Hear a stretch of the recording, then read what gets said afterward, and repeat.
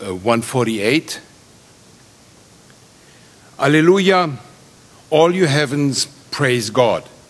All you creatures in the heavens, sun and moon, all stars of light, all you waters above the heavens, let the glory of praise resound.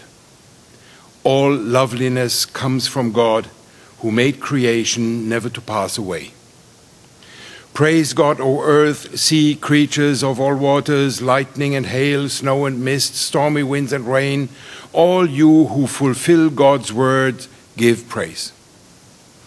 All hills and mountain peaks, valleys and plains, orchards and forests, beasts, wild and tame, all reptiles and birds on wing, let the glory of praise resound. Leaders of the earth and every nation, young women and men, the elders with the young, all you who live on earth, give praise. Let God be praised. Let God alone be praised. The splendor of his holy name reaches beyond earth and sky. God is the strength of all the faithful, of all who draw near. Hearts will be comforted, spirits renewed. To the Holy One of blessing, glory, and praise.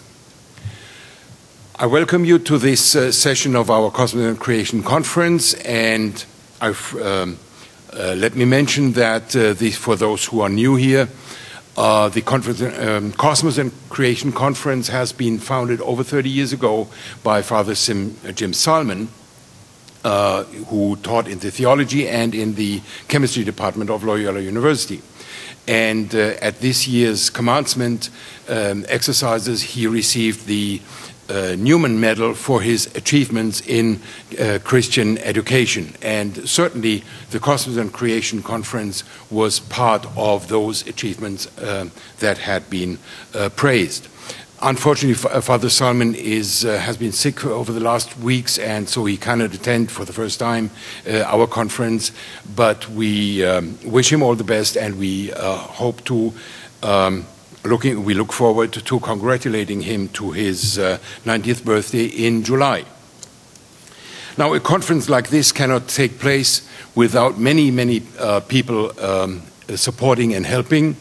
I should mention uh, definitely the Alexander M. Haig uh, Endowment Fund for the Science, Faith, and Culture that makes uh, financially uh, possible and also supports our Hauber students who are attending this uh, conference and we are grateful for, uh, for this uh, support. Um, we have, uh, of course, the support of the um, um, uh, of the uh, Associate Dean of Natural and Applied Sciences, uh, Bam Rugani, who introduced our speaker last night, and we are grateful for that. And also, he allowed us to use resources, that is, personnel, uh, lovely people uh, from uh, from his department, and especially we are grateful to Jane Beatty, who shepherded this conference and is still shepherding today, and make, make, is making it a success. We are also grateful for Peg McKibben, who used to do this uh, job in the past and volunteered to help with the transition, as well as um, Angela Pond, uh, who was engaged in this with that, we uh, let me uh, come to introduce our, uh, to our today's speaker, um, Robert Ulanowicz. Um, he gave his uh, he, he, gave his first talk uh, last night on science and belief in a contingent universe, and will then today speak about ecological metaphysics, room for creator.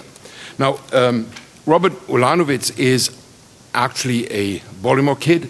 Uh, he uh, was born and grew up in, in Baltimore. He is, uh, did his um, degree, uh, PhD in chemical engineering at Johns Hopkins University. Then he started teaching at uh, Catholic University in Washington and later became a professor at the um, University of Maryland. He currently is the Arthur R. Mar uh, working at the Arthur R. Marshall Laboratory of the Department of Biology at the University of Florida because uh, having started as an uh, uh as a chemical engineer, he has moved into ecology, and that is uh, definitely the topic also of his uh, talk uh, this morning. So please welcome Robert Ulanowicz.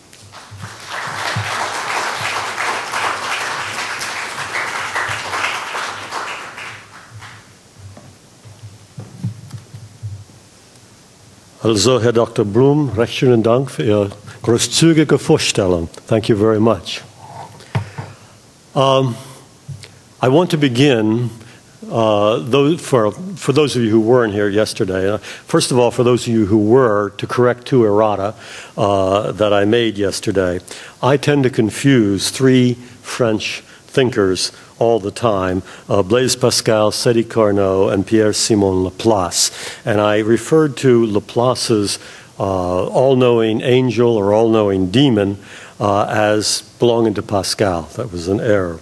Uh, and then, secondly, uh, Walter Elsasser I'd identified as belonging to the Department of Physics at Johns Hopkins University, and uh, Dr. Fisher said no, he's ours, Earth and Planetary Sciences. So, my apologies to any of you besides him who are in Earth and Planetary Sciences. Some of you may not have been here yesterday, so I'll begin with a little bit of a, uh, uh, of a review of just the, the overall ideas that we discussed yesterday. I can't go into any detail. Basically, I was arguing that the ontology of the fundamental universal laws of physics is generally exaggerated, that uh, they're, they're portrayed as being totalizing. Uh, everything is determined by, can be traced back as being determined by the, the, the laws of physics. Uh, and my argument was not that they are wrong or that they are ever violated, but simply that they pertain to a world of simple homogeneous systems, and that when you get into the, to the biological and the human world, you have massive, munificent heterogeneity, and that when that happens, uh, the laws can no longer specify, can no longer determine.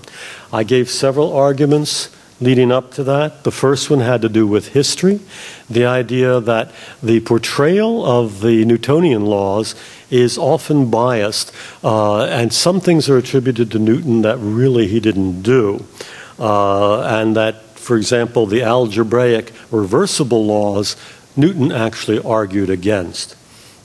I argued in terms of dimensionality when we say that life an evolution is equal to uh, matter moving according to, to universal laws, that this violates dimensionality, that process, life as process, has the dimension of rate, time explicitly, whereas the laws of physics, although time appears, it appears in so called reversible fashion, uh, so that you can't tell whether you're going backwards and forwards, and that, so that it's essentially timeless. We deal with timeless things like energy, uh, momenta, and mass that are conserved. Uh, I talked about problems with logic. Uh, uh, here, Walter Elsasser, whom I just mentioned, um, uh, talks about uh, Whitehead and Russell, who said that all the laws of physics are reducible to operations upon homogeneous sets, and that when you get into a heterogeneous world, that goes out the window. Uh, so that he could say with rather strong confidence that if there are laws for biology, they will not look like the laws for physics. So you have a problem of connection there. I talked about completeness. We tend to focus on the laws as if they were an abstraction from specification. They are universal, and as such, we always have to, to, to, to specifically state uh, what the, the, the, the, the specifics at hand are. And that if we cannot do so, the problem remains insoluble and non deterministic, at least from an epistemological point of view. Uh, I talked about contingency, the idea that these boundary, boundary value statements, these specifications, uh, could be totally contingent. Uh, not meaning that they violated the laws, but that they are the result of novel situations that could not be described, the boundary conditions for which could not be described in closed form. Okay? Um, I, and then, then I talked about uh, uh, there being a whole spectrum of contingencies. We think, normally think of, of chance as being blind chance, but in fact, there's something even more radical than blind chance. There's, there's uh, uh novelty, radical novelty, uh, that uh, I used arguments from Elsasser to defend. And that going in the other direction, there are uh, there are chance that actually has a certain directionality. There are conditional probabilities and there are propensities, things that happen most of the time, but not all of the time. And then so forth up on to uh, uh, determinism. And the idea here was that if you could, if you could give uh, specific specifications, like, you know, my example was calculating the, the, uh, the trajectory of a cannonball. If you could actually give simple specifications like the location of the cannon, its angle with respect to the Earth, its muzzle velocity, then you could, you could solve that in closed form and, and do determinate prediction. But if you had radical contingency as a boundary condition, you usually got radical contingency or, or insoluble uh, problem out, out. And then finally, I talked about sufficiency the idea that there are really very few laws of physics. There are the four force laws uh, strong and weak nuclear force, uh, electromagnetic force, and gravitation. Uh, and all of these are reversible laws. Uh, uh, you could add on the first and second law of thermodynamics, so you, you know, six or seven universal laws of physics, uh, six the, the number of combinations in order to specify things of those is, you know, it's fairly numerous. It's 720, roughly 720, 6 factorial. Uh, that seems like a lot, but it's really pales in comparison with the number of com combinations that you can get from even a system of moderate heterogeneity. You know, maybe 35 definable, distinguishable individuals. Uh, that comes to 10 to the 40th uh, possible combinations, so that for each each of each of the combinations of laws, you have literally millions, billions, uh, at least thousands of of uh, situations of, of, combinations that will refer to each of the, the combinations of laws. And while many of those can be eliminated by conditional specifications, not all of them can be. And you usually have a large multiplicity of situations that satisfy that specification of laws exactly, so that the laws are not violated, they simply cannot discriminate amongst the, amongst the many possibilities. Uh, yeah. I've forgotten. Hello? Yeah. So uh, then I went on to say, okay, okay, if the laws don't give us what is happening, what does? Uh, uh, what does specify actual situations? And uh, I talked about uh, I talked about processes and combinations of processes and how some of them are stable. And then I focused on one particular subset of processes, those that are autocatalytic. They are processes that are self reinforcing, uh, usually indirectly. Uh, a catalyzes B, catalyzes C, catalyzes A. And that how, when you look at the properties of such autocatalytic combinations in com combination with contingencies, especially radical contingencies, your dynamic is very, very non mechanical. Um, it, uh, uh, the, the combination gives rise to, to uh, uh internal selection so that uh, whereas evolutionary theory always depends upon external elimination, you can actually have internal reinforcement within your system. That's not accounted for by the, the normal Darwinian narrative, although Darwin himself did talk about, did talk about growth. Um, also, the dynamics of, of autocatalysis in combination with, uh, uh, with, with, with contingent inputs gives rise to, to selection for, for, for those changes that bring more material and resources into the system. So that there's this centripetality, this centrality of, of autocatalytic uh, configurations bringing ever more uh, resources and, uh, and energy into their own orbit. Um, and I, I, I, talked a little bit about the autonomy of these autocatalytic behaviors with respect to the laws of, of physics. Uh, also, the scenario of contingencies being incorporated into autocatalysis, the idea that autocatalytic processes are always being impacted by a whole host of contingencies, and most of them just don't do a thing to the system. A few of them will damage the system. A very few of them, however, will, will conform with the system in such a way that it increases the autocatalysis, which happens to be an asymmetric process. So you get a directionality uh, out of all of this, uh, out of the autocatalytic system, and that direction is in greater autocatalysis. Um, but the idea is that this scenario is not random because not all of the uh, of, of, the impingent pro- events and processes uh, are selected. Most of them are are not selected, just a very few. On the other hand, those that are selected. Um, uh, usually, the one that is selected is not unique. It could have been another one that could have arrived, you know, 10 days, 10 minutes, 10 days later, that would have done just as well, have been very different, and taken the system in a slightly different direction. So you have a situation that is non random but indeterminate. And I mentioned Gregory Bateson, the uh, anthropologist, who said that. Uh, uh, causal circuits, and autocatalysis is a causal circuits, are capable of taking random input and giving you non random output. And that's certainly what we're getting here. And I asked you uh, uh, as you went home last night to think of, of uh, situations that are, are non random but indeterminate, because that threw me for a long while.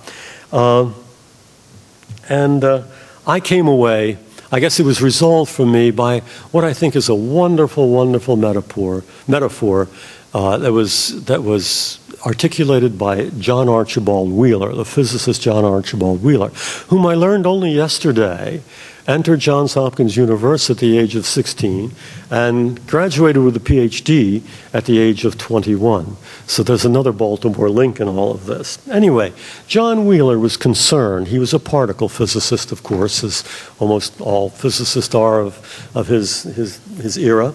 And uh, at the time, uh, there was the schedule of possible particles that had different uh, directions, spins, flavors, uh, whatever, uh, and, and that that uh, uh, particles were assigned to a particular uh, element of this big multidimensional matrix, and there were these empty holes. And the question was, is there a particle that has this particular?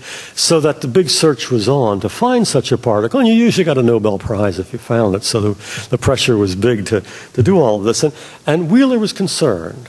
Wheeler was concerned because he said, well, are we actually discovering something in nature?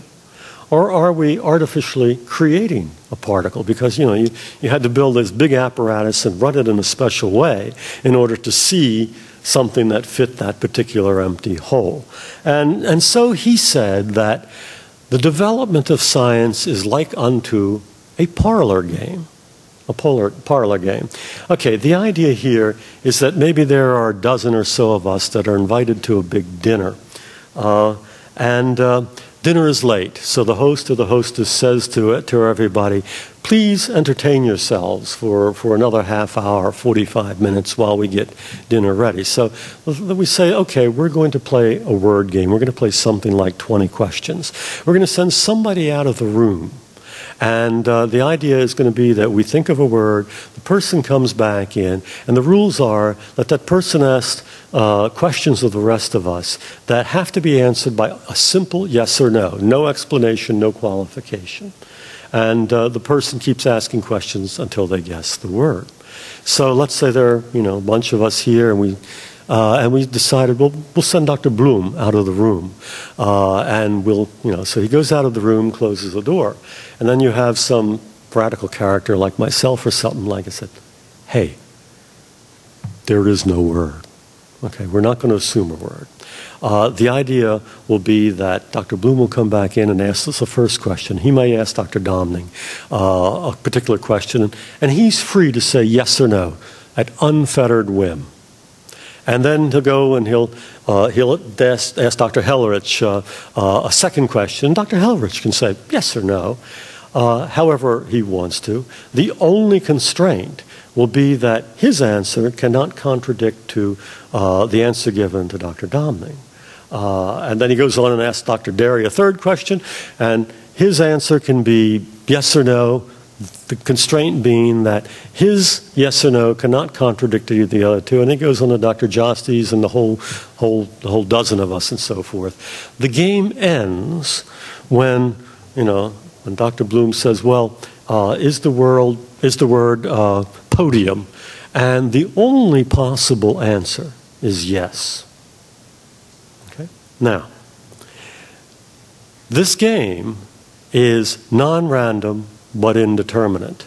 Okay, the idea that, that it's non random, the first, the first answer was random. Okay, but the second answer was not, it was conditional. And the third answer was even more conditional and so forth until, until a word was actually chosen. So uh, it does lead to a determinate end, but uh, that's in the single case. But if we were to replay the game uh, with someone who wasn't in on it and so forth, uh, we'd come up with a different word. It's very important because the laws of physics correspond to the rules of the game. They are necessary and they constrain, but they do not specify, they do not determine. Okay, the next word uh, might have been exit sign, I don't know, or, or door or whatever. Uh, uh, they, they function and they constrain, but they do not determine. Uh, that's all very interesting and it's, it's very enlightening about the role of, of physical constraint. But there's ev- it's even better, it gets even better than that, because we can ask ourselves, what really determines the word? And the answer is it's a conversation. It's a conversation between the questioner and the respondents. Okay? The questioner is trying to build a structure, a logical structure that will lead to uh, a particular end. Okay? Whereas the respondents, you know, especially if they're a little flicky, they will try to prolong the game as much as possible by giving answers that will, you know, be a little bit diffuse in, in, in building that structure. So it's really, it's really a, a, a dialectic, it's a conversation. Uh,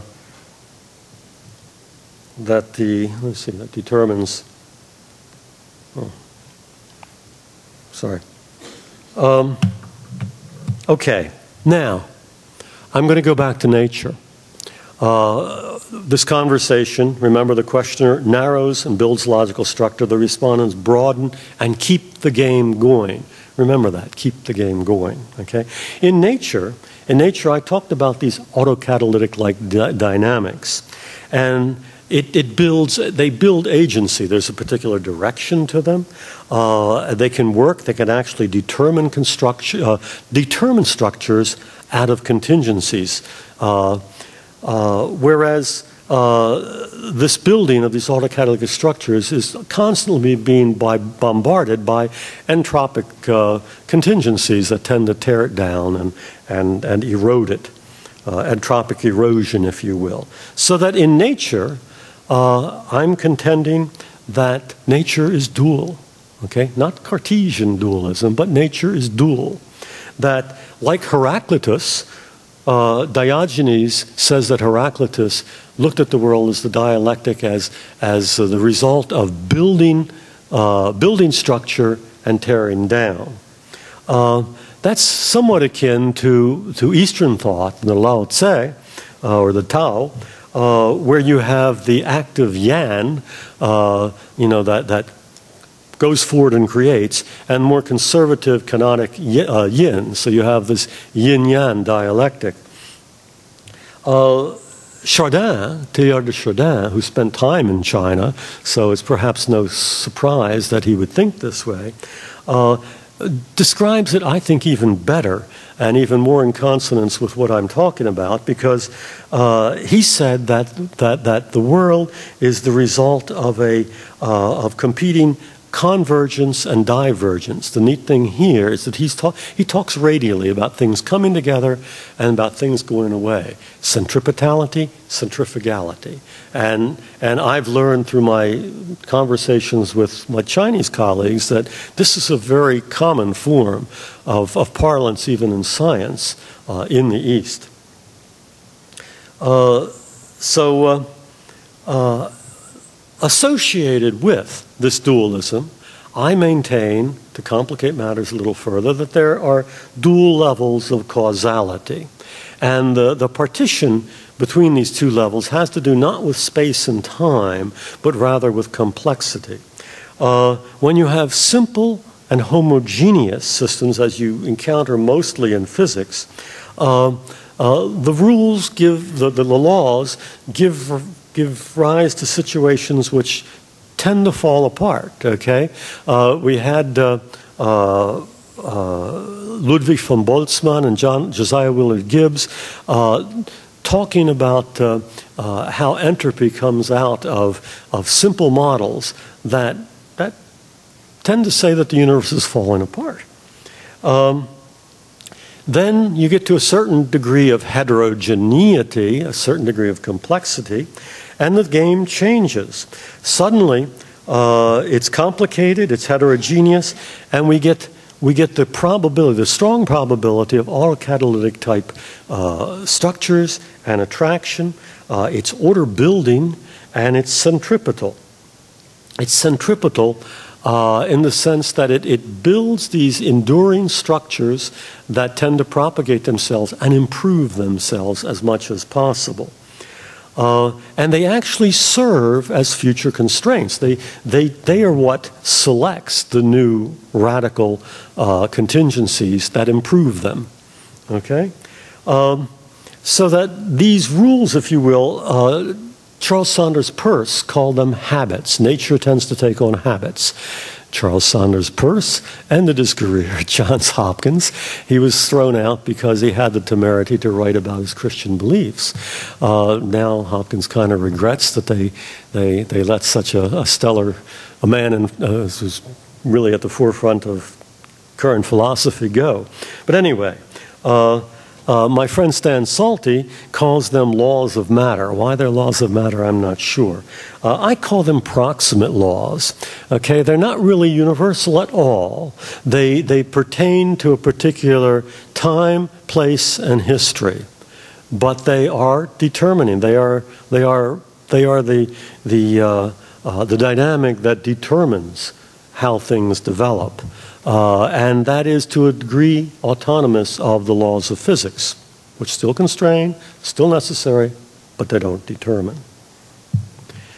All enduring forms are a serial history of contingency. Everything that we see in this room, which is artificial, everything that we see out in the woods, out in the forest, out in the, the, the wilderness, has a, has a history that involves contingency.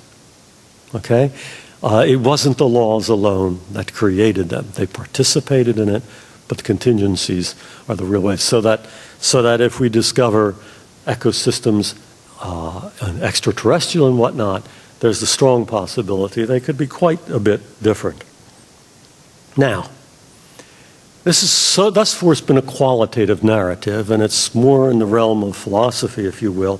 Science demands, however, that uh, nature be subject to measurement and to the creation of falsifiable hypotheses. We must make uh, we, must, we must make hypotheses about nature, we must measure, and that hypothesis must be capable of being falsifiable by the data everything that I'm talking about, while you know, I'm not gainsaying the laws of physics, they were brilliant uh, uh, achievements of, of, humankind.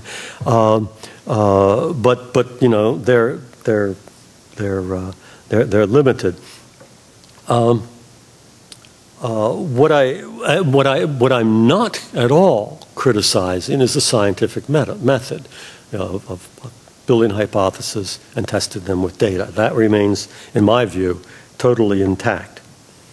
So how can we how can we create this thinking, which as some of you have already noticed, is process thinking because yesterday we identified life as process, and that we can only talk about life in terms of other processes. Remember, I talked about Tiezzi's deer, and all the normal measures of biology were present in the dead deer, but the processes were missing, and that's, that's central to, to, to life. So, uh, life is process, and it's serial transitions between states, and some of which involve configurations that are autocatalytic. Now, um, ecology, for as long as I've been alive, 19, well, longer, 1942, uh, over 70 years, has described transitions from one state to another in terms of networks. Okay? Um, here's an example of the network of the mesohaline Chesapeake Bay from about uh, Pooles Island down to about the mouth of the, the Potomac River that we put together in the Chesapeake Biological Laboratory. Uh, uh, I won't go into any detail at all. Uh, you have what are called the plankton. These, these things are tiny things that float around in the currents. Uh, we have things on the bottom that are called benthos uh, that filter things, and, and, and the, uh, they create detritus or, or, or, what is it? Uh, just detritus that falls down to the bottom, and they feed on it. Your oysters, your, your clams, and other. and then you have the nekton, the, the fishes that are mobile and move all around, some of which uh, feed on the plankton, some of which feed on the benthos and whatnot. And, and we put this together in a big network. Now, here's the thing about networks and process thinking. Remember, a process is a transition from one distinguishable state to the next to the next, okay? Every pathway in here depicts a process. Okay, you can trace trace carbon as it goes from phytoplankton to uh, uh, to, to, to, uh, to, to, zooplankton, microcrustaceans, and, and all the way up to you know, your striped bass and your bluefish and whatnot. Every pathway in a network is a process. The entire, the entire ensemble, therefore, is a configuration of processes. So while I've talked about configuration of processes, uh, we can go out in nature and we can actually quantify uh, each number on here is the rate of carbon transfer of grams carbon per square meter per year. Okay, so we can go out and actually quantify uh, the, the strength of these, these processes. Some of which contain cycles. Okay, if you if you uh, I create an algorithm that identifies the the, the, the cycles, and uh, I won't go into it. Oop, but uh, this really surprised us because we have a whole bunch of cycles up in the, the, the, water, and we have these other cycles uh, between the fish and the benthos and whatnot, and we have these, these strange species that don't engage in any cycles. So we can tell something about how the system is operating in sort of, in sort of a quasi uh, uh, mechanistic way. But the important thing is that these all involve feedback, cycling, some of which could possibly be autocatalytic. Uh, so all of the elements for process thinking are, are there in a quantified network. Now, about 1999, physicists discovered networks. And since, since about the turn of the millennium, there's been an absolute proliferation of, of literature on networks. Uh, most of these have been networks that have been very qualitative. Okay, they don't involve the numbers and whatnot, and you, often not even directional. They're not even arrows. They're just connections and whatnot. But the important thing here is that the the effort has been to to describe the various networks in terms of the mechanisms that give rise to them, because this is in the tradition of conventional science. Um, they, they, we, we quanti- there are certain patterns, there are scale free networks which involve uh, uh, uh, networks that, that, that expand like power laws. There's small world networks in which, in which local uh, uh, uh, local communication is dominant and whatnot. And the idea is to, is to, to explain these various forms in terms of mechanisms that can give rise to them. And this is all in the, you know, in the well established tradition of science. Um, I say that this is, uh, uh, this is missing a large part of the, of the, uh, uh of the story. Um, and I, I, call upon Marshall McLuhan, who was a media specialist, very popular during the 60s, the University of Toronto happened to be a Catholic, as a matter of fact. But anyway, one of the things that he said is that when you have a new medium or a new situation, we tend to be numb to it, we tend to be dazed, and that we tend to always interpret that new medium in terms, of, in terms that are familiar to us. And he gives an example. He gives the example of IBM, the International Business Machine Corporation, who, always, who started out thinking they were in the business of building machines for business, as their name implies. It wasn't until they discovered that they were really in the business of, of processing information that suddenly their company took off and their stock took off. And, well, you know you can't, you can't avoid it now. Um, uh, and, and I think that's the situation here. That uh, when, as a physicist, we look at networks, we say that's constraint. I remember I had one lady who's now the Archbishop of, of, of Lund in Sweden say, but, but networks are deterministic. And I jumped out of my seat and poor lady, I attacked her and so forth. No, they're not deterministic. They're an amalgam of constraint and indeterminacy. And uh, we can go to a network and uh, uh, Okay, let's, for example, if we're here in number seven, the microheterotrophs, these are tiny little invertebrates and so forth, and they're eaten by about four other species, the, uh, the filter feeders down here, the clams, the oysters, and, so, and uh, I think uh, by the copepods here. Uh, but they are not eaten directly by, by many of the others. The idea being, if you're at any point in the network, in generally, you do not communicate with all directly, with directly, with all of the other compartments. I mean, indirectly, it's another story. But you're constrained for any number of reasons, size, habitat, whatever, from, from communicating directly with all the others. That's constraint. At the same time, at the same time, if you're here, you don't know whether you're going to go to, uh, to the copepod, the, the next, you don't know whether the, it's indeterminate, I should say, whether the next microheterotroph will be eaten by a copepod, by an oyster, by a myo, or by some other filter feeder. That's indeterminacy. Okay, so you have both constraint and indeterminacy inherent in your network. Um, now, we can't really disentangle the constraint from the indeterminacy in any, in any reasonable way, but mathematically, we can measure how much of the activity is being channeled due to constraint and how much, how much slop there is, okay? How much inefficiency, how much redundancy there is uh, elsewhere. We can make that, uh, uh, that calculation. Unfortunately, I cannot go through the derivation. Uh, it comes from information theory. Why information theory? Uh, because information theory, as some of you probably know, is predicated upon indeterminacy. It's usually called uncertainty, but I, I think ontologically we can talk about it as indeterminacy. We don't define information directly. What we define is the lack of information, and we, we quantify that. We quantify something that really doesn't exist, an apophasis.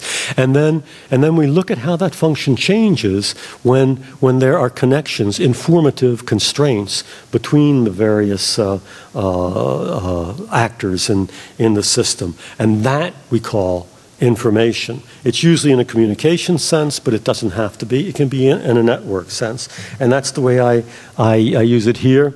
Um, uh, you know, don't worry about this god awful uh, looking. If Tij is the flow from I to J, uh, I have a program that if you give me a network, I take all the Tijs in it and I run this through the program and it comes up with a value A, which I identify as constraint. For those of you who know information theory, it's the average mutual information divided by, oh, that should be a divided. I don't know how that get dropped out, divided by uh, the entropy of, uh, of all the thing. But, but but the, the bottom line is that it gives me a number A, which is guaranteed between 0 and 1. You can think of it as a percentage. 0.4 would be 40% and so forth. And I, I claim that uh, uh, that A quantifies the constraint. I call it really the degree of organization. So that 1 minus A uh, I will now identify as the flexibility in the system, the degree to which the network has options, has inefficiencies, has a lot of you know slop uh, in which to develop. Um, now, we can, uh, we can see this uh, by looking at some extremes. What are the extremes of A, whoops, of uh, A equals 0 and A equal 1? Well, here in a very simple four, four, four process system, it's easier to follow the connections with just four. Uh, this particular configuration here, there's no constraint whatsoever. If you're at any point, there's an equal probability of going to any of the other three or staying uh, where you are. Uh, so this, this is A equals zero, totally indeterminate. The contrast, A equals one, is when there is only uh, there is only one input and one output, and all the connections are equiponderant. Okay, these are the two extremes. Everything else falls in between. Here you have, uh, you know, there's only two possibilities, and here your A is 0.333. So the idea is now we can the, the, the, game is uh, you go out into the field and you measure uh, a network for an ecosystem. You give it to me, and I come back and I give you two numbers. One of them uh, is the amount of constraint, the other is the amount of flexibility, and the two add up to 100%. Okay? Now, um, when I developed this measure, I thought that it would be a good index for what's called ecological, ecological succession.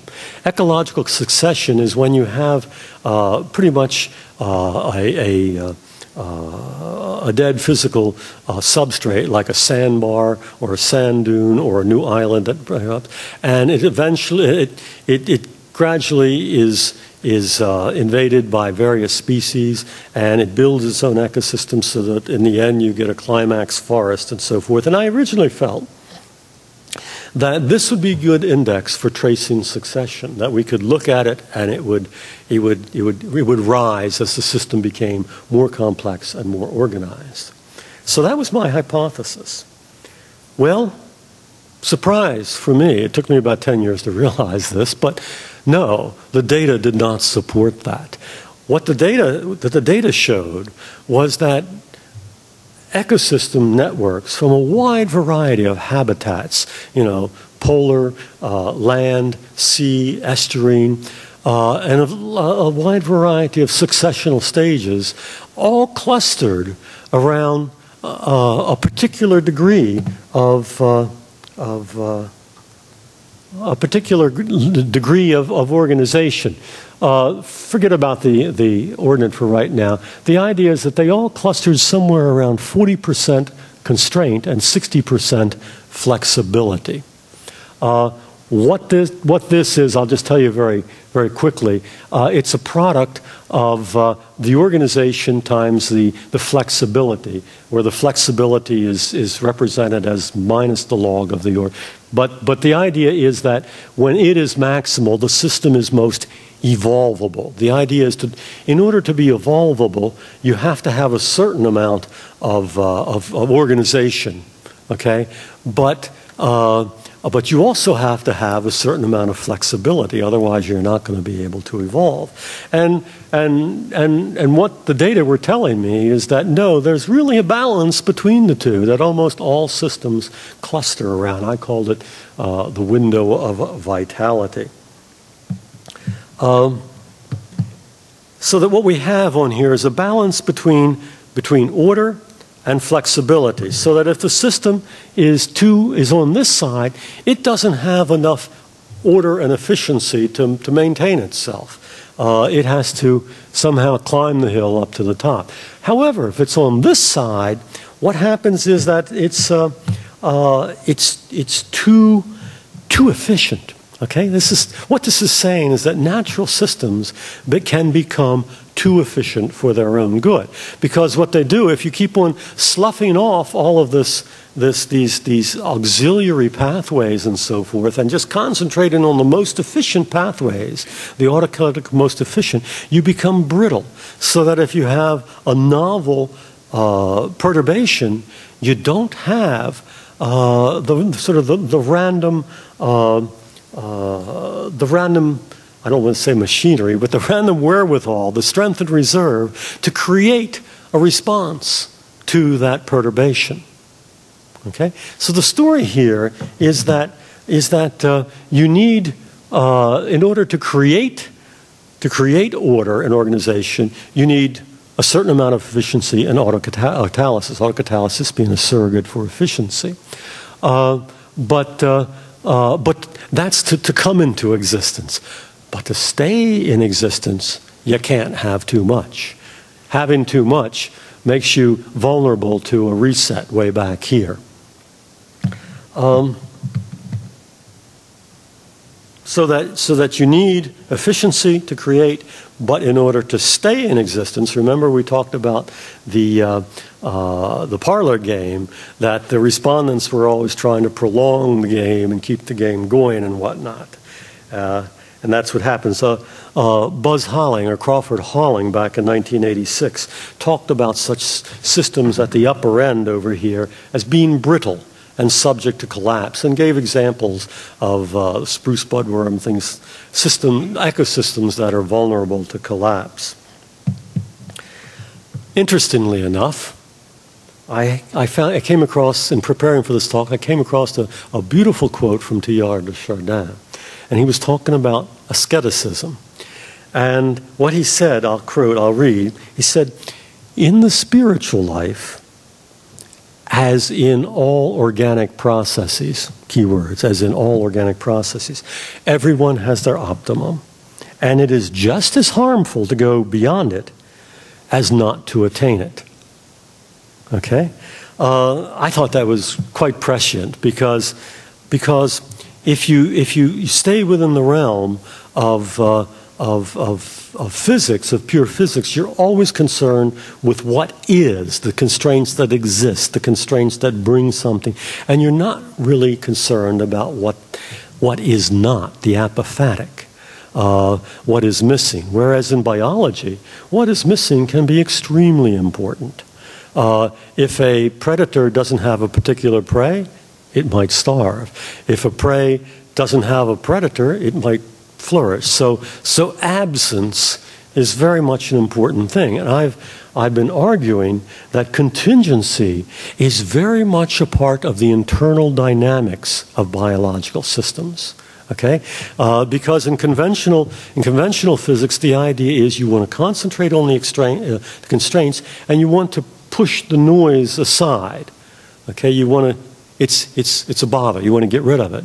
And the lesson here is that in the biological system, you cannot do that. That, that it is part of the internal dynamics, and it needs to be reckoned, and it can be reckoned using networks. Um, okay, at, uh, at this point, I want to have a little diversion uh, from uh, using this particular figure because I think it's, it's rather interesting and I think this particular audience might, might enjoy it. Um, John Haught, Jack Haught, whom you all know, of course, uh, talks about uh, a cosmology of despair in science. And, and the idea here is that if you, if you take uh, if you take the laws of physics and the second law of thermodynamics, you conclude that the end state of the cosmos is what is called heat death. Okay, that the cosmos will, will eventually erode into a state of widely separated low energy photons. Okay, and you know, all is, all is not, alles hin. It's gone. Um, that conclusion is predicated on models that are rarefied, that are, uh, in other words, not dense, okay, that are homogeneous, all the tokens are the same, and that are either non interacting or very weakly interacting. They have no other alternative but to go to heat death. Okay? It's the only possible end state, and that end state is A equals zero. Well, when you get to systems that can now interact in a reasonable way, what we discover is there's another possible and equilibrium endpoint. It's at A equals one. And if you go back here, you know, it resembles, it resembles a, an equiponderant uh, cycle, if you will. This equiponderant cycle reminded me of the standing wave, the standing wave metaphor from quantum theory. Okay, the idea that uh, uh, the, the stable orbits in, in, in, in in neutral matter uh, are essentially this wave motion uh, that requires no input or no output normally. You can think, you can think of a hydrogen molecule as being a, a, proton and a ground state electron, and that could be out in the deeper recesses of space where uh, no, you know, very few pro, uh, photons ever impact it, and it can just go on in motion forever. I call it a perpetual harmony. Okay, so that, so that uh, the, uh, the state of A equal 1 represents these perpetual harmonies. Now, there's, uh, there's reason to believe that the universe in its evolution underwent uh, a, uh, a, a, dichotomy uh, where, where you had reversion to these two states, and it's called the recombination. It occurred about about 300,000 years after the Big Bang, which is a long time, logarithmically speaking, after the Big Bang. Uh, and it's the time uh, before the recombination. Matter, the universe was still so dense that light could not penetrate very far through the universe. It was it was opaque, if you will. Uh, but the universe continues to expand adiabatically. The energy levels low, lower, and certain at a certain point, the recombination, light can now make its way through the universe. Uh, some, I think, some even refer to as the Aufklärung, but that gets into the Enlightenment as well. But anyway, well, we have Professor. Bloom or, or, or, or, his wife can, can straighten me out on that. But, uh, but the idea is what we had is that, is that matter was, was indistinct. It was part of what, I, what, what Prigogine calls a, uh, uh, a, uh, a dissipative structure. Okay? That, that, uh, and that as the, the energy levels drop, this dissipative structure, which was a combination of photons and partially formed bosons and whatnot, and I'm not a particle physicist, so I can't describe it too well, but the, the key point here is, is at that time, uh, the levels got, and there was a split so that, so that a lot of the dissipation uh, suddenly became what we now know as the background radiation, the 3.7 background radiation. Most of what went over here, some of which at least, became neutral matter. Okay? Neutral matter like the matter we have here, it's rather stable, at least over a reasonable amount of time. And this neutral matter consists of Essentially, well, they're not perpetual because you know the Sambo will be destroyed after a while and burned up and whatnot. But but but they they endure for a long, long time. Um, so that uh, uh, it brings up the possibility that sometime in the future we might have uh, uh another such uh, recombination, if you will, if you can think of human society as a dissipative structure, and heavens only knows we're very dissipative, as a dissipative structure, and we're you know, constantly losing energy. The world is becoming more rarefied and so forth. Uh, at least rationally, I don't know how it would happen. I can't imagine how it would happen. But at least rationally, we cannot preclude the idea of another recombination phenomena uh, where, we, where we, we, we progress towards a perpetual harmony, which sounds an awful lot like Teilhard de Chardin's uh, omega point, if you will, uh, a harmony that that uh, doesn't need any inputs and output, but which is within itself totally harmonious. It's not absolutely motionless, okay, but, uh, but it is, is harmonious. So that's a little, little diversion. Um, well, to, to sort of try to begin to summarize everything I've been saying, uh, I'm proposing that nature uh, is, is, a, is a dualism. Uh, but it's not, not a Cartesian dualism, but rather there are two realms of dominant causality. There's the simple realm where you have the force laws are dominant, uh, entropy is very strong, uh, you have determinant, uh, and I'll just say that ironically, ironically, these models that describe this appeared only extremely late in the evolution of the universe. Rarefied, homogeneous, um, uh, in non-interacting systems came way, way late in the evolution of the universe. And yet that's what we take as our model. And I say it's, it's a... Uh, uh, it's, an, it's, a, it's a compliment to human ingenuity that we could take such systems and project backward in time and come up with the Big Bang Theory and all of this. Uh, but we always have to look backward. Okay? Uh, I'm suggesting that what we really need is a new metaphysics that allows us to go in the same direction as the evolution of the universe. More about that in a, in a, in a little way. Um, uh, on the complex side of things, uh, we have configurations of processes and historical series of contingent events that are, that are indeterminate. I just, uh, no, okay, I already mentioned that, yeah. Uh, these work in opposite direction. You know, one tends to fall apart, the other tends to build up, so that at least at one level, uh, they're opposing one another. Uh, but, uh, but they are actually mutually obligate at the next higher level. How so? Well, in order for, for autocatalysis to progress, to grow, it needs contingency. It needs noise. It needs the other side. Okay? Uh, and the other side, as it gets more efficient, actually dissipates more.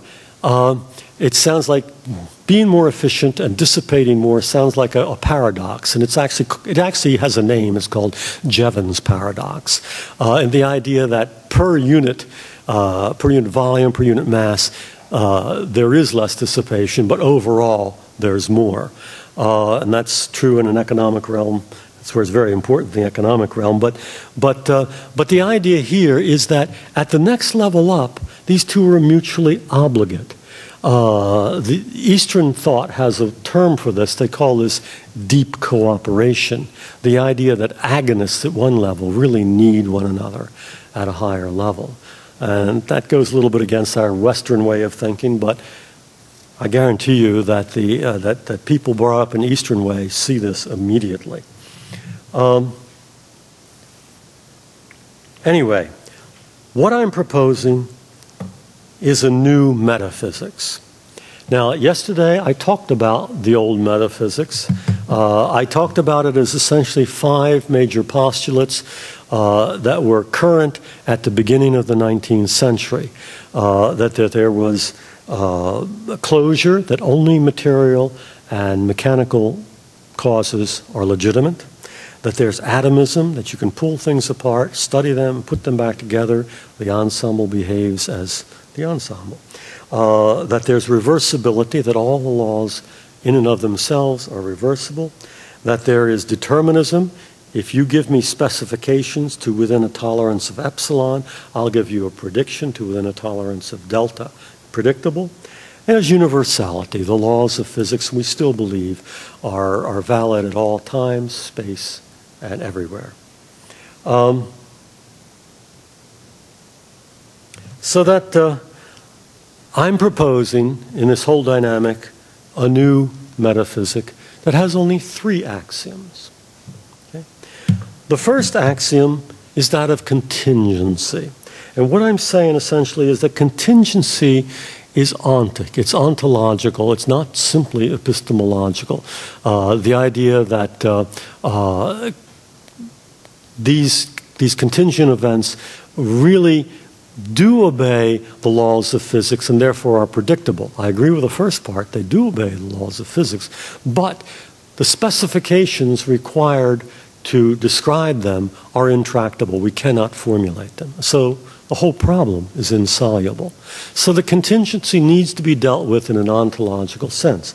And I say that processes can interact with other, uh, excuse me, a system is continuously being impacted by events not amenable to description in closed form. The second axiom is that of feedback. Um, the idea that a processes can interact with other processes to influence itself. In auto, uh, autocatalytic uh, way is one example. It can do it in negative ways too, of course. Um, but that, uh, uh, but that I would like to to to stress that this is a very radical assumption. You say, radical? We all know about feedback, after all. Well, we know about feedback, yes, and we had our discussion this morning about this, but we know about feedback in an atomistic way because as engineers we created feedback, uh, uh, feedback systems to control processes and whatnot. Uh, and we built them up in a very atomistic way. That's not the way nature comes at us. Nature comes at us in full form with the, the autocatalytic uh, cycles already in existence. Um, this, this assumption violates closure. Okay, it violates this Aristotelian logic, uh, circular logic, uh, and you can't and, and, whereas most of science is predicated on Aristotelian logic, this violates closure rather badly. Uh, it sets the stage, of course, for autocatalysis and centripetality, and I would contend most of the really interesting attributes of life that are now being neglected. Uh, the third one is, is almost by way of afterthought, and that's history. As I said, we need to invoke it in order to have autocatalysis in a progressive way. Uh, Darwin was very aware, and we may hear about this more this afternoon uh, from Dr. Domingsalk, was very aware of, of uh, uh, of, of, history and the radical way that this might interact with, with contemporary, his contemporary science. He was a staunch Newtonian, and Newtonian is, is, is a misappropriation, as I talked about yesterday. It's really Eulerian or Enlightenment science. And he was very much into that mode of thinking, and it bothered him greatly uh, that his identification of history might, might somehow erode that way of looking at nature. Uh, I don't have a, a, reference for that, maybe Dr. Domning does. Um, so that uh, uh, no history can come from purely reversible laws. Okay, there always has to be contingencies. Uh, the laws are there to support the dynamics, but it's the dynamics themselves that choose to build upon themselves and depend on external influences to build structure. Okay, there are corollary notions. Um, the first corollary notion that you can develop with these three axioms as a starting point, you can make the argument, and I hope I've made it in more or less uh, reasonable fashion, that it's really configurations of processes that function as agencies. Uh, you know, like, like the deer, uh, the configurations there, it functions as a deer and does the processes that a deer does and so forth. Uh, and, that, and that dynamics are actually not monist, but dialectical. Uh, and I could talk. I could talk also about uh, Occam's razor and all of this, if any of you want to talk about that later. Um, all five notions together are what I have called process ecology, and sort of predicated on process thinking. Uh, and it is a, very different way of, of viewing nature. Uh, those of you familiar with thermodynamics may remember the theorem from network thermodynamics by uh, uh, uh Tellegen, uh, Bernardus Tellegen, uh, because as thermodynamicists, what we do is we define the states and then we define the forces as different in states, and they are what cause the processes to flow. So it's, it's very object oriented. And what Tellegen said if we live in a purely linear world, we can invert that.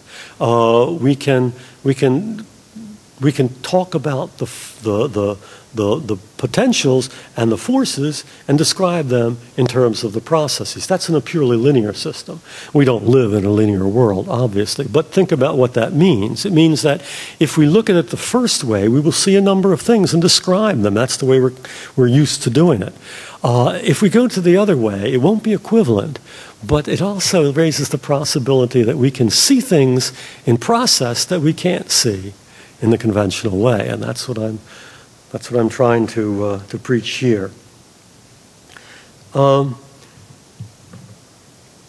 so that uh, we get a new metaphysics, and here's, here's the real kicker this new metaphysics is the antithesis of the old. Okay? If you look at it point by point, here, here are the five, the five, oh, there it is, uh, the five axioms of the mechanical worldview closure, atomism, reversibility, determinism, universality.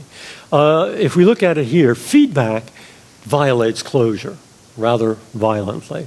History is the opposite of reversibility. Uh, contingency negates determinism. Uh, atomism we drop completely because we're talking about systems where the components are, are obligately linked in a significant way. Uh, and the dynamics that we get over here is circumscribed. It, it refers to only a particular uh, location of time, space, and, uh, and, and, and I mean even those things like like well DNA and whatnot seem to be universal. Really are are, are contingent. So if I ask the question, uh, can Enlightenment physics fill the chasm between between physics and the humanities, or the physics and theology. Uh, and the, the, uh, the assumption is that if we wait long enough, yes, science will fill that, cati- uh, that, that, that chasm using, using our former metaphysics. And I would maintain that no, it cannot. Jack Haught uh, talked about metaphysical impatience, and he said that uh, people who want to uh, who want to jump ahead, let's say in evolutionary theory, and, and, and jump ahead and make metaphysical assumptions, are, are exhibiting, excuse me, metaphysical impatience. Metaphysical impatience.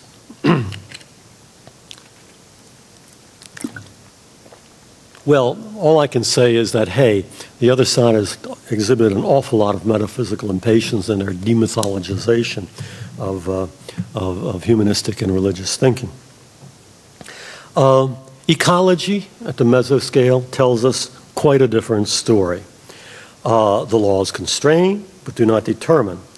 So we really need uh, a metanoia, a change from being to becoming as Prigogine recommended, from stasis to creativity, from object and law to relationship and process, from Parmenides to Heraclitus.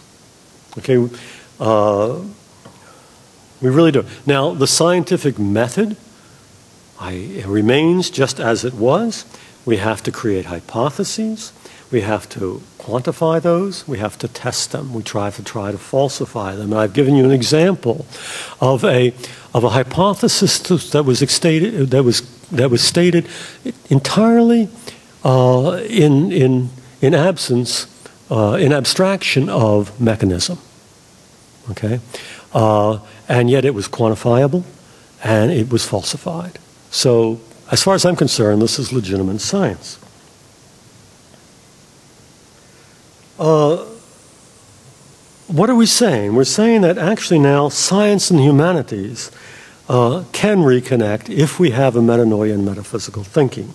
That theology need not, be, need not be extirpated from the academy, for example.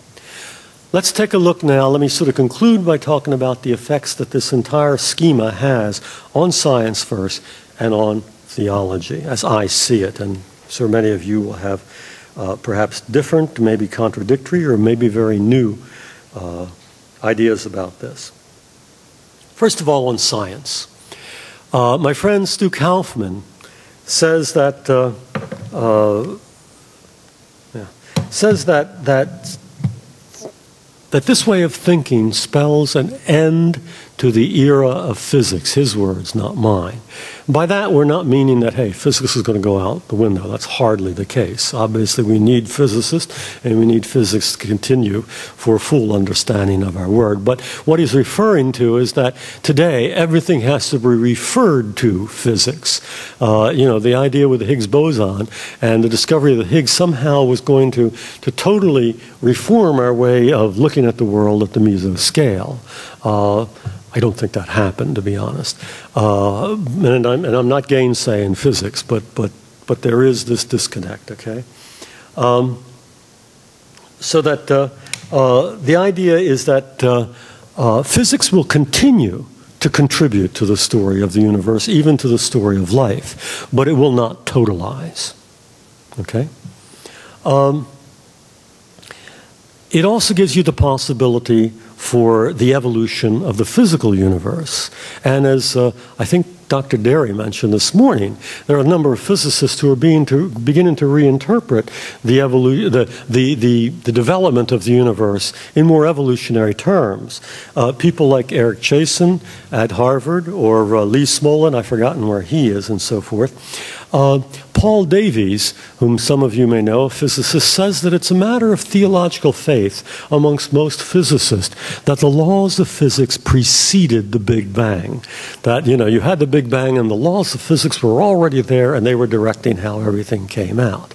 Okay, there, there are people like Lee Smolin who are rethinking that, and even in my book, I, I, I, give this as a possibility the idea that no, the laws of physics actually started as inchoate processes and gradually became more and more solidified and precipitated out of an evolving universe. You know, I think it came out from you know, nuclear first and then electromagnetic and finally gravitation. Others say it's the other way around. But the, the idea is that the laws of physics were not there, they were not present before the Big Bang. There's a little bit of, uh, of empirical evidence to back to, to, to support that. Uh, not to answer the question definitively, but uh, for example, the alpha fine structure constant of matter has been observed in the very distant galaxies as something very different even with the relativistic corrections. Very not very different, but somewhat different, measurably, significantly different from what it is now. So that even these constants that we talk about uh, evolved along with the universe. Uh, so the law is precipitated. I would also mention that I think that you know matter precipitated according to the same scenario that life did. Okay, we're constantly given being given this this riddle. We have all of this dead matter. How did this dead matter jump up and become alive? And that's that's a real problem. Uh, and it's a real enigma. And my, pro- my, my answer to that is we don't have to go that route. The idea is that, that matter, if you take Eric Chaisson's description of how matter came about, it, it, it has the, the, the, the, uh, the elements of contingency and feedback and history. And, uh, uh and it, it, it wound up in stable matter. Uh, and life evolve under this, pretty much the same scenario. So we have these two things evolving from a common dynamic, if you will. It's unnecessary now to say how this happened. I mean, the origin of life is always, uh, uh, you know, some sort of warm pond, or if we only get the, the, the, the chemicals, the molecules right, uh, if we get the right molecules, then all of a sudden, boom, they'll all of a sudden start dancing.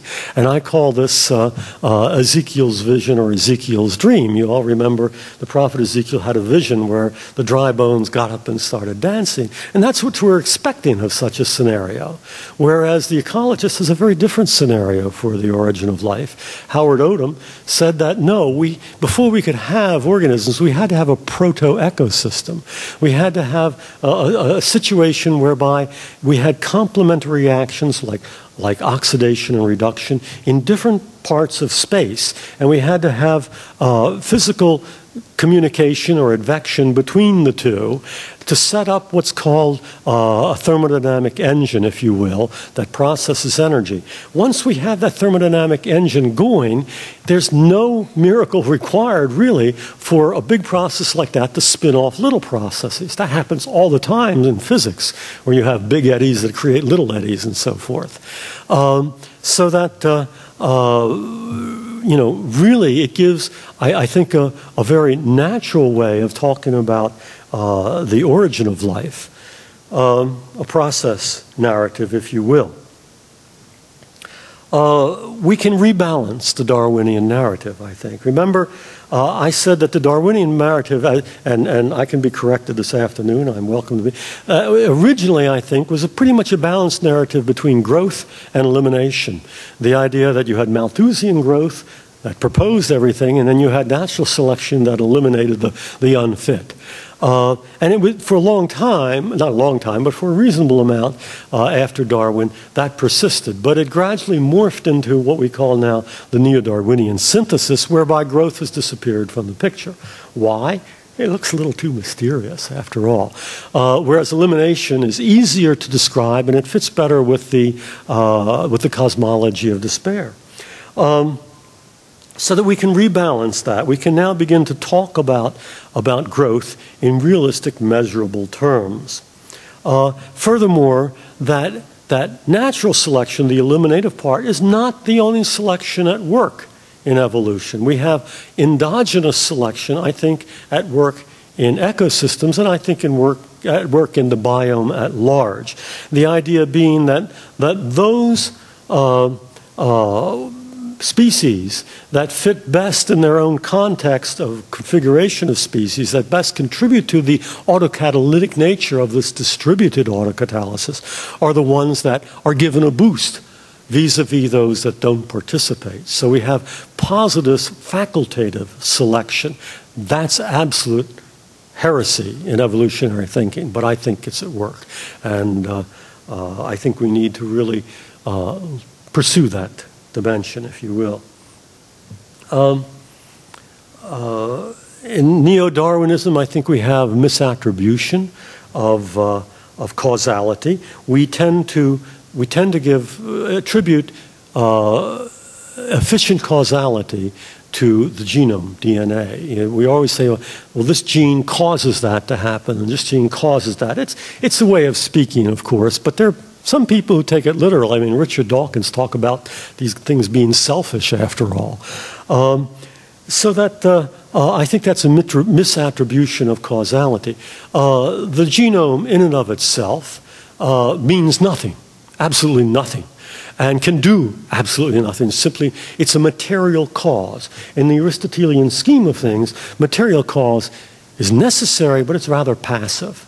Okay, what is happening is that this genome exists in a context of processes. There are these proteomic and enzymatic network of processes that actually uh, read it, edit it, execute it.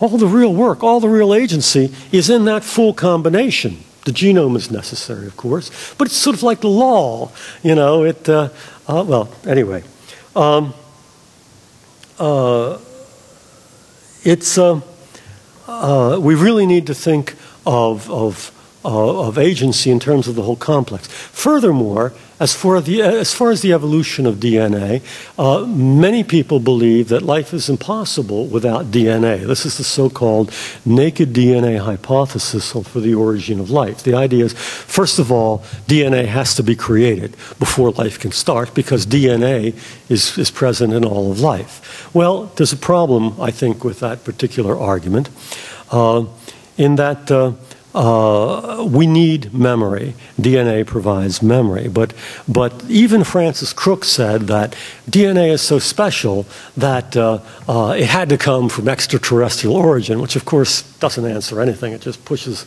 causality you know, further back. But he's right that it is very special and that uh, the, the, there are a number of us who believe that, that it indeed is the product of early stable life, uh, early living configurations, and that its initial function was probably something of, of pre-RNA molecules was probably something like energy transfer, like you know ATP, AT, ATP, ADP, and so forth. Was probably had something to do with the, the energetics, but that over time, as it grew, it was accepted Remember, ex, remember uh, yesterday we talked about uh, Stuart Kauffman's exaptations, where you have uh, uh, something which serves a function in one context and a very different, unexpected function in another. Suddenly, suddenly it was accepted to start to, to, to store memory.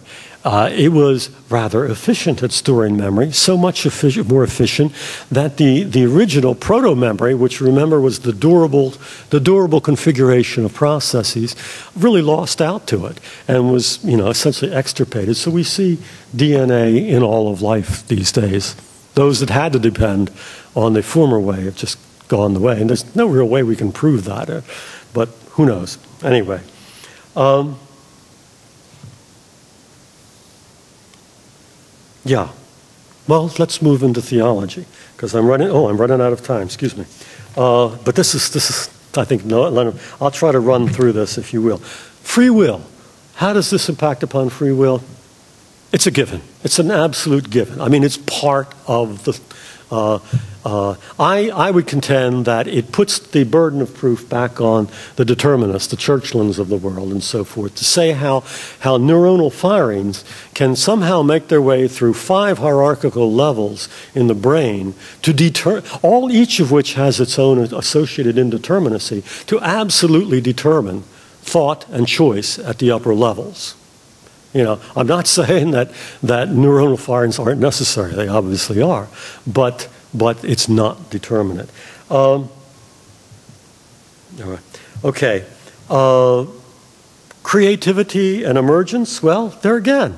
Uh, creativity, uh, emergence was a major problem if you had the totalization of the physical laws. It's no it's, it's no problem once you, you say that uh, the contingency uh, is true novelty, and that novelty is taken up into the dynamic. So creativity and emergence suddenly poses no problem to the process way of looking at work. There's plenty of wiggle room. Yesterday I talked about Philip Hefner, a very prominent theologian, uh, active, uh, the head of the Lutheran School of Theology for a long while, who was asked in 2000, Do you believe in miracles? And he mm, and reluctantly said, Well, no, God just doesn't have enough wiggle room. Well, I would contend, and I think he believes now too, that there's plenty of wiggle room available. Uh, you know, so, so there's wiggle room available for natural creativity, there's wiggle room available for human creativity, there's wiggle room available for divine creativity. Well, we can't identify it because, as I said yesterday, there's this epistemological veil. We don't know what's behind that veil, whether it's just pure stochasticity or whether it's some transcendental influence. Uh, but if that's the case, if there is the possibility for divine action, that also says there's a possibility for the efficacy of intercessory prayer. Okay? Now, I know a number of fellow believers who, when you talk about intercessory prayer, immediately look at their feet, you know, in embarrassment, uh, because they, they're really they really are somewhat neo-deists, and they really believe in the, the totalization of physical law. Uh, uh, and of course, I, I, admit that, that mature prayer should be judicious, mature, and patient. But there's no reason whatsoever to rationally exclude the possibility of the efficacy of intercessory prayer. So pray for your, your, your friends and relatives, as we're you know, exhorted to do in Scripture. Theodicy. Uh, here's, here's something that's going to involve us this afternoon, I think, because Dr. Domning and I have a little bit different attitude on this particular problem, the problem of evil and suffering. I say that process ecology does not obviate the problem of theodicy, but it does give us a different angle on the problem.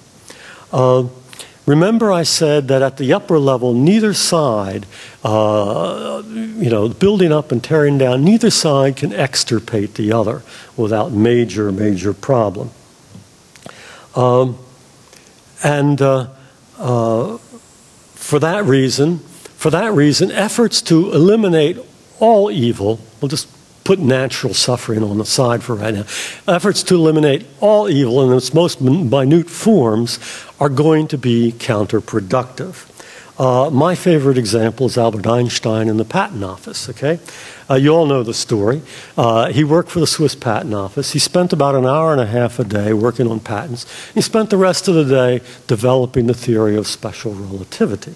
Now, from, from an ethical point of view, he was really cheating his, his employers out of his time and whatnot. See, a, a petty little evil. But look at the good that came of uh, relativity.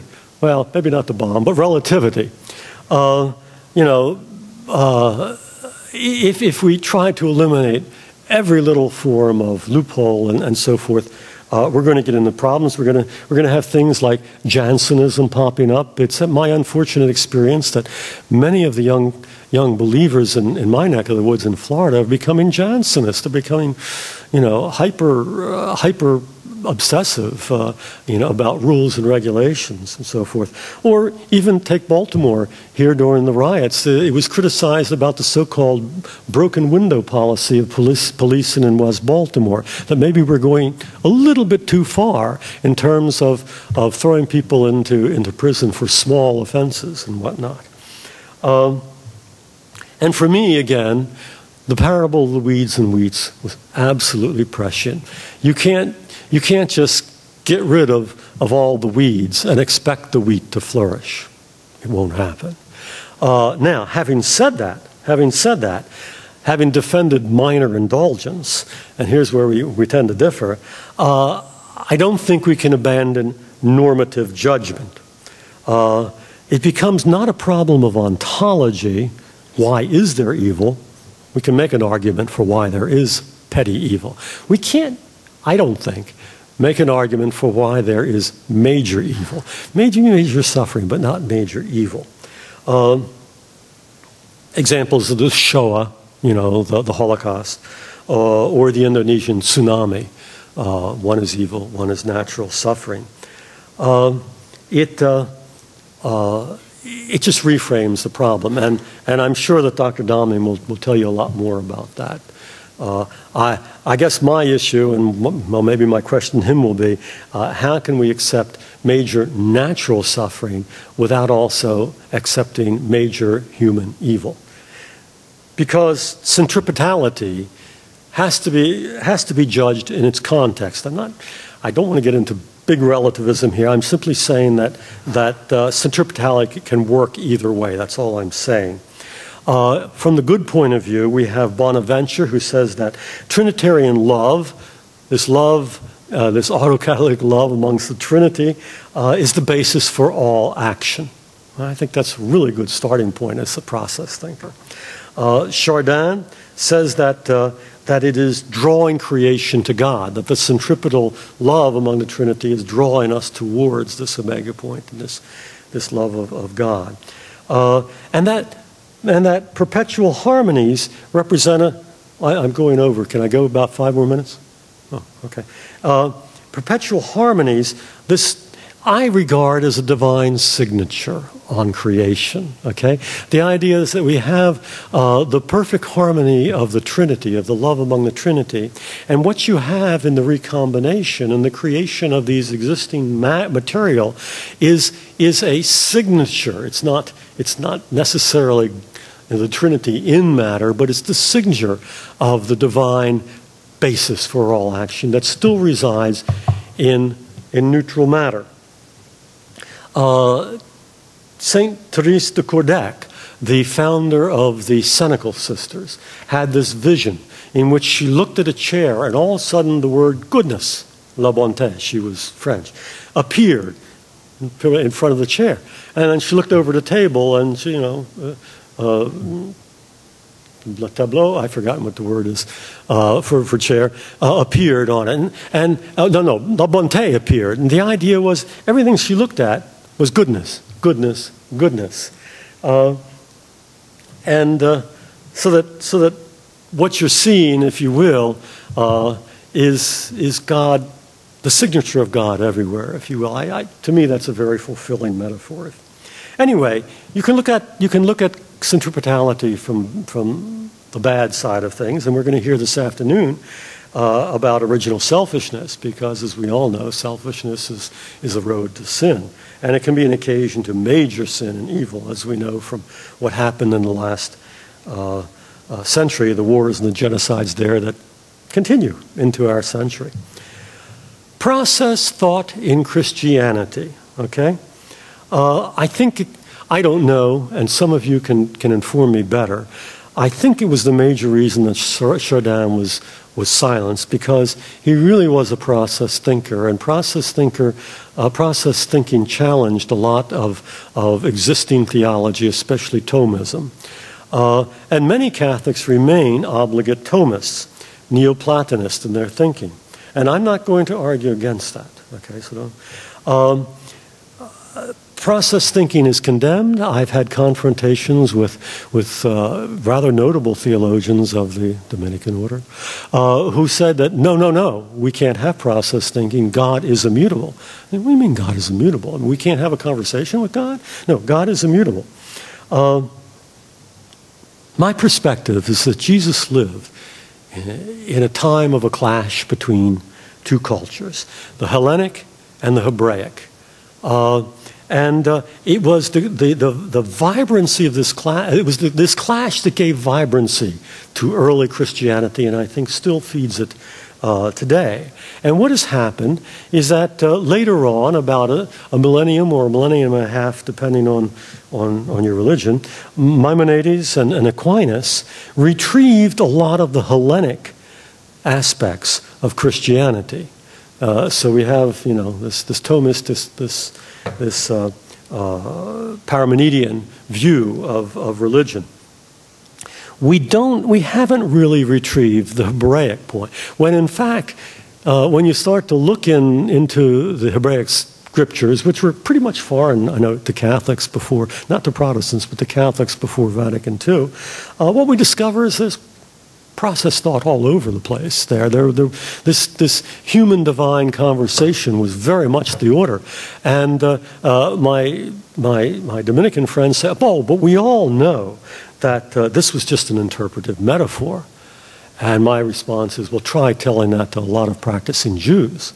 Uh, I'm thinking, for example, in, uh, in terms of uh, my favorite uh, is Rabbi Bradley Shavit Artson. He wrote a book called uh, God of Becoming and Relationship.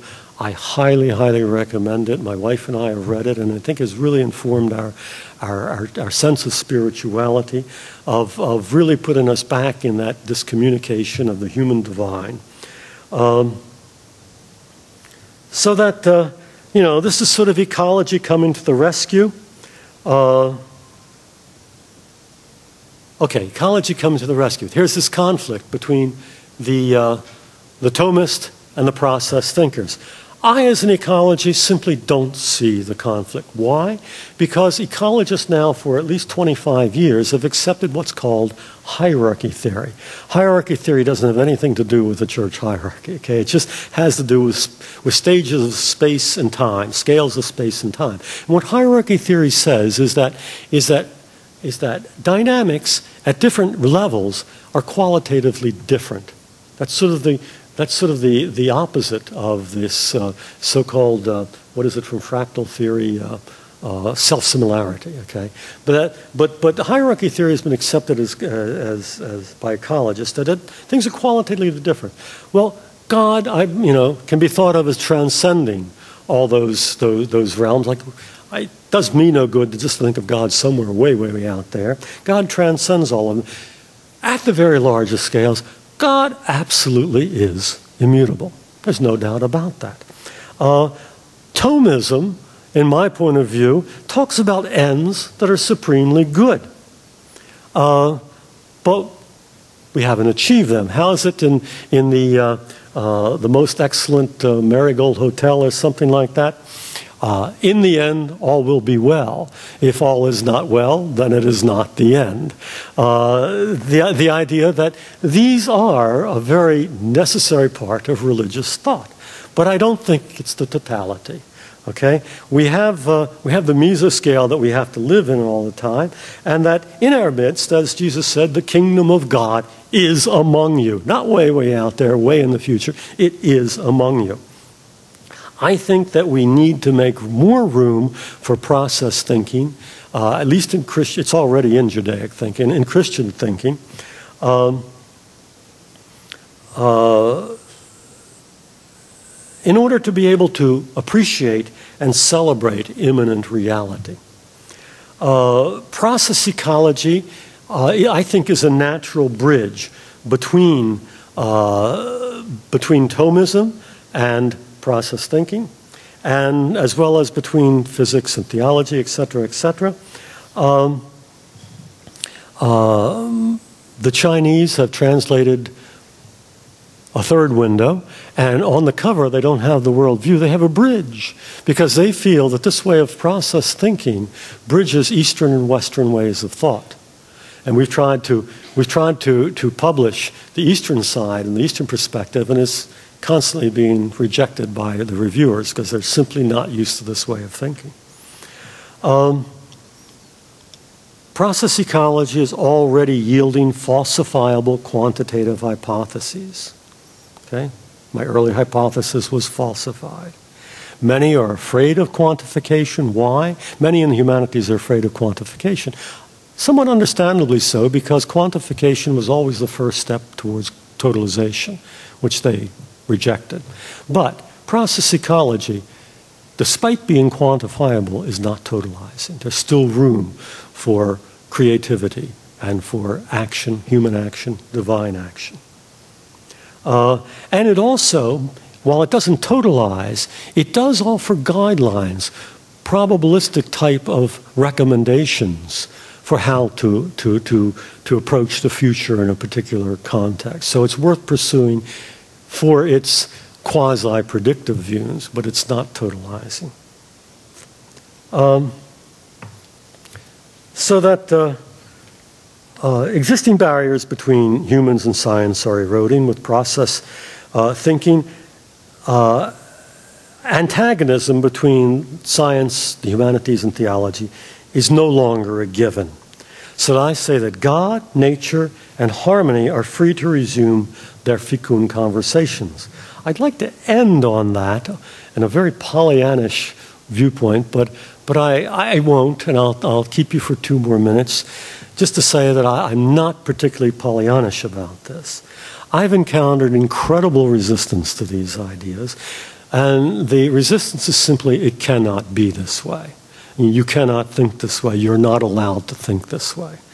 Um, uh, many, many rejections uh, in the literature and so forth. This book was rejected by Oxford University Press purely on authoritative grounds. You cannot think this way. It's not a fit book for Oxford University Press, literally. Um, you know, Sagan and Hawking's idea uh, is still the prevailing consensus. But process thinking, as I've argued, cannot preclude God, cannot preclude divine action. And that's dangerous to some people. Not all. I will say, I will say that most of the people I work with on these ideas are agnostic or atheistic. So this doesn't apply to everybody. But there is a strong, I don't know if it's a majority or minority, a strong contingent of conventional thinkers who feel this is very, very dangerous and who, who are vitriolic, literally, in their, uh, their attacks on it. Uh, Leonard Susskind, whom some of you might know as the, one of the big figures in the multiverse theory, and I won't go there at all, uh, but, but he he received a lot of pushback. And he characterized the pushback, and he, he didn't say who said, who, who gave this quote. He just, on, on, on a blog called The Edge, he, he gave a, a criticism that he received from, from one of his detractors. And he said, to quote, From a political, cultural point of view, it's not that these arguments are religious, but that they denude us of our strength in opposing religion. I'd like to think that's not the case, but my experience tells me it's still out there. Uh, I see all the time the, the, the movements, uh, the peregrinations to avoid certain phenomena that, that common sense says is there. Uh, Sister Ilia Delio, who I know has, has, has been involved in cosmos and creation, is fond of, of quoting Thomas Aquinas. She says, to the point that a mistake about creation can lead to an error about God. That's perfectly, perfectly true. Uh, we need to get the science correct and complete, I would say. But when I look at all this avoidance, I can't help but thinking, in my own biased way, that a mistake about God can lead to a mistake about creation. And I'll leave you on that. And thank you for being such a wonderful audience.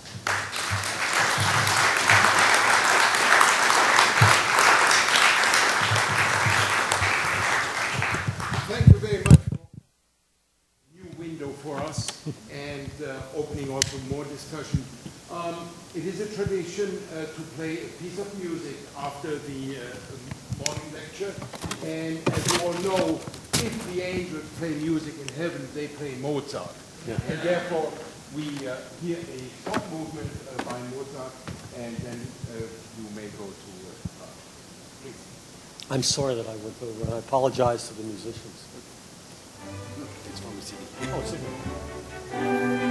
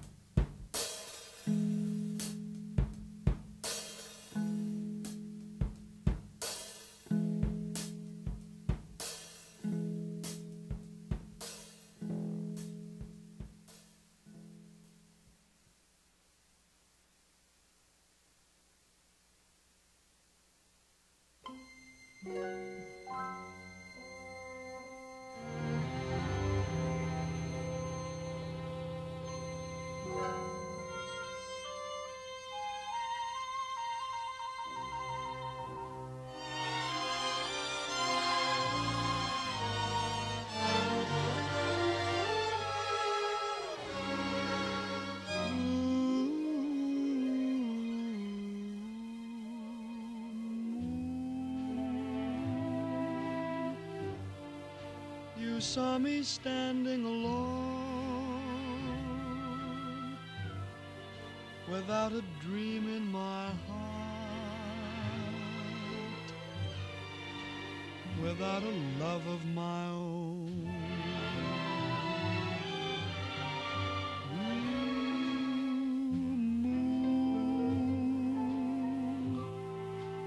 You knew just what I was there for.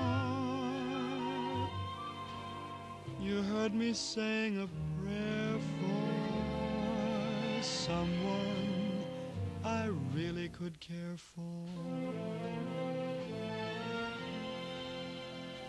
And then there suddenly appeared before me the only one my arms could ever hold. I heard somebody whisper, please adore me. When I looked, the moon had turned to gold.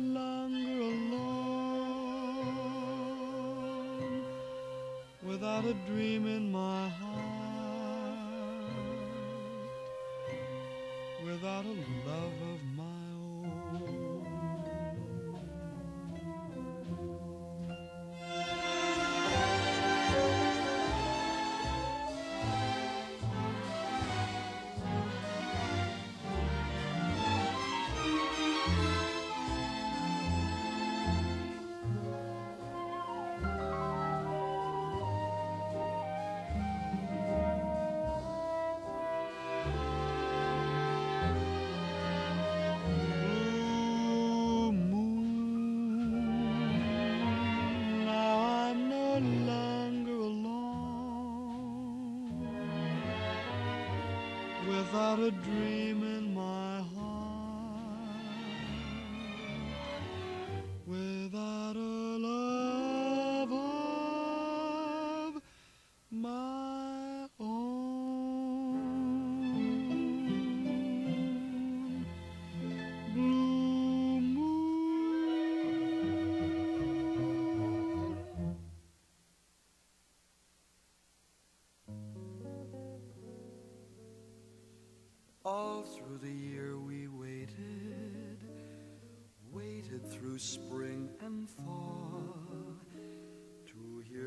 silver bells ringing, see winter time bringing the happiest season of all. Chestnuts roasting on an open fire. Jack Frost nipping at your nose. Yuletide carols being sung by a choir and folks dressed up like Eskimos. Everybody knows a turkey and some mistletoe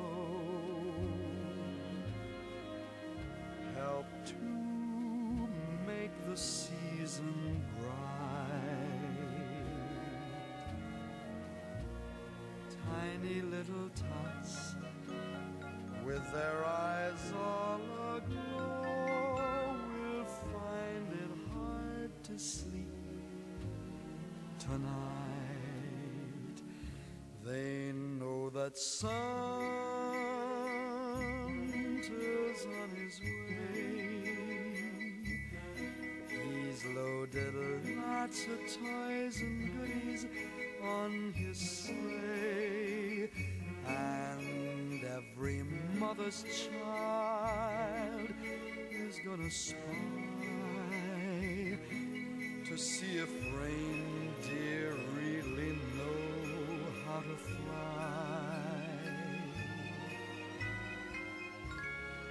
So I'm offering this simple phrase to kids from 1 to 92. Although it's been said many times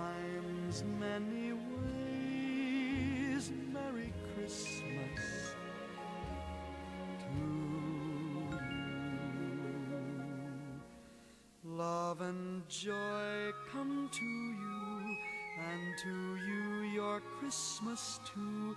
And God bless you and send you a happy new year. And God send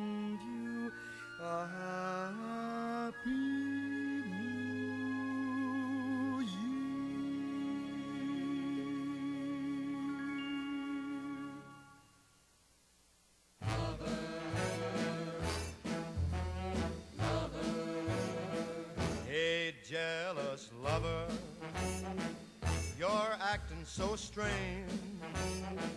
Hey, jealous lover, what is making you change?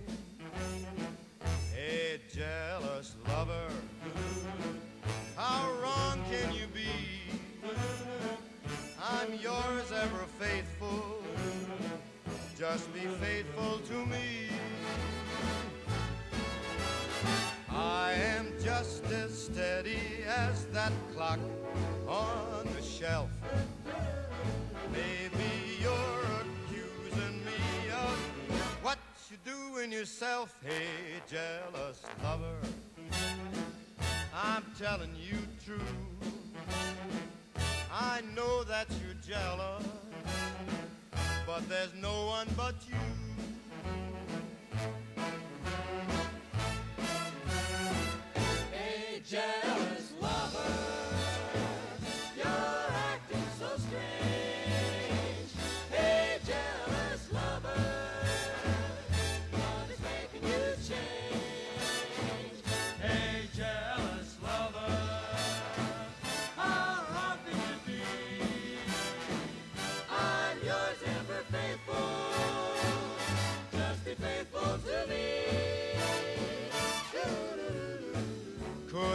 Cheated lots of times, but just couldn't do.